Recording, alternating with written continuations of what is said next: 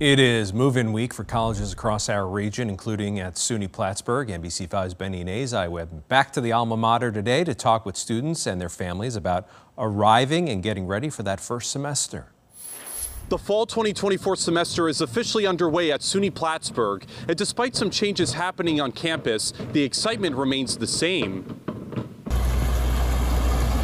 A rainy start to a new school year. Thousands of students packing Rugar Street as their families help them move into their home away from home. And for one transfer student from Norfolk, New York, she says the university is in a perfect place for her. I love hiking and I love being close to the Adirondacks, so I know that'll be fun.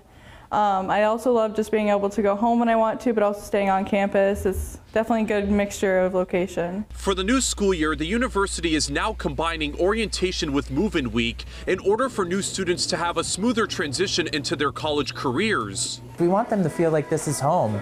Uh, and I think it's important to do activities and get them engaged with other students before they have to be in classes and kind of start the year. Oh, we're gonna be on the news?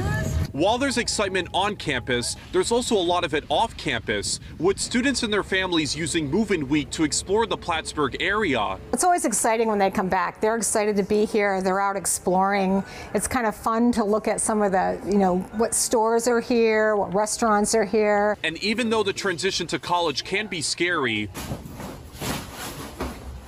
Students are hoping to make the most from their time as a Plattsburgh Cardinal. I'm looking to make some new friends, um, get used to the com- campus. Getting out and just discovering what the area has for you or what the college campus has for you is super important. Orientation will run through the weekend with classes starting on Monday. At SUNY Plattsburgh, Benny Nazai, NBC5 News.